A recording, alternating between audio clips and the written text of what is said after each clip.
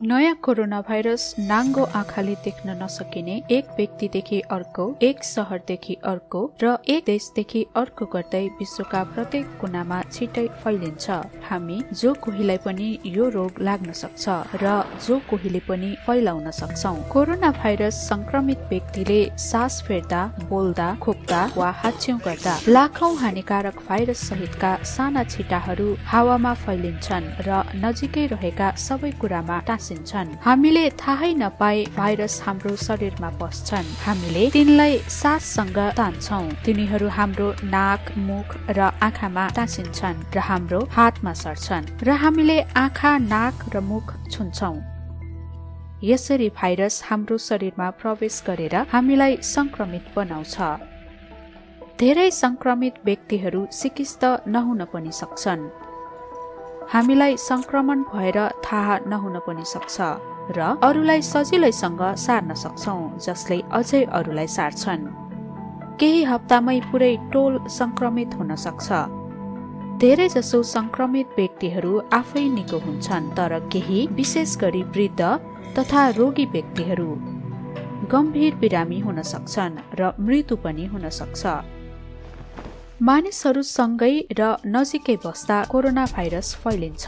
यसबाट बच्न र एक अर्कालाई बचाउन हामीले भिडभाड तथा बन्द ठाउँहरूबाट टाढा बस्नुपर्छ। मास्क लगाउनु पर्छ आफ्नो हातलाई अनुहार नजिक लग्नु हुँदैन। खोक्दा वा हाच्छ्यौ गर्दा कोहिनाले मात्र मुख छोप्नुपर्छ।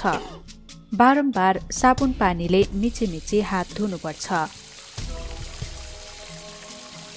प्राय हातले छोइने सतहहरूलाई नियमित रूपमा कीटाणुनाशकले सफा गर्नुपर्छ।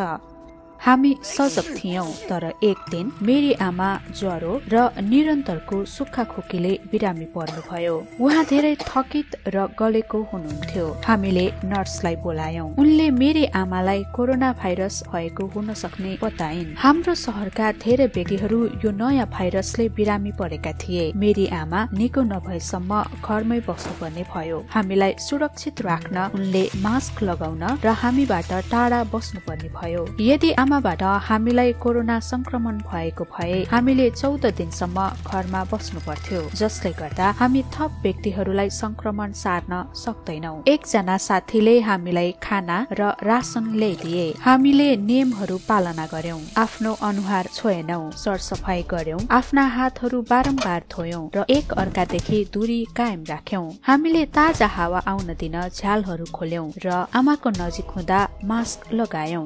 दिनहरू बिते मेरी आमा निको हुनुभयो र भाइरस फैलाउन नसक्ने हुनुभयो।